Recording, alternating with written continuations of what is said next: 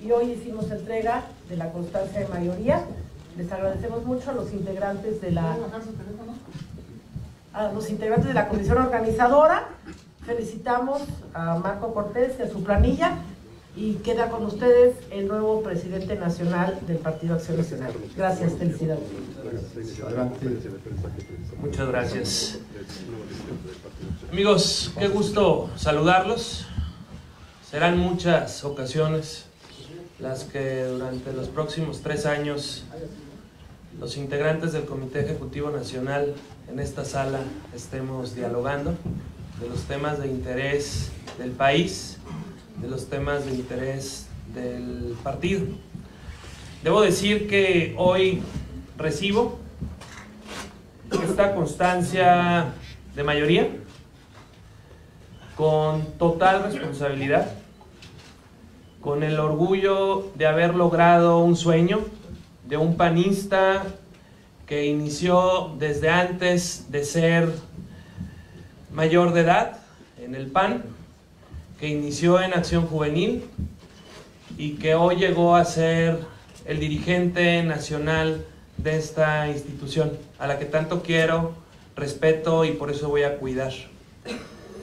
Con esa responsabilidad la recibo y además con el agradecimiento de todos los militantes del PAN fueron a votar. Una votación que fue superior al 60% con una participación que reconocemos, que se llegó a pensar que fuera complejo, que hubiera una alta participación, y esto es debido a todo un equipo.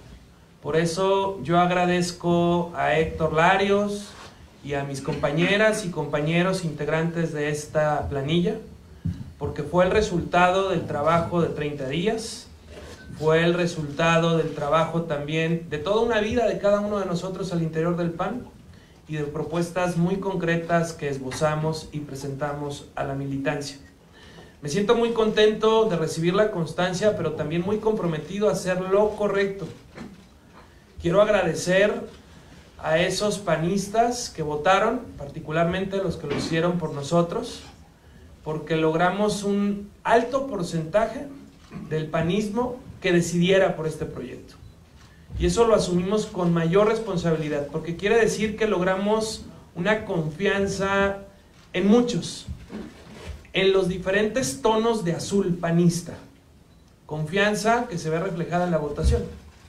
Logramos en este equipo triunfar en los 32 estados de la República.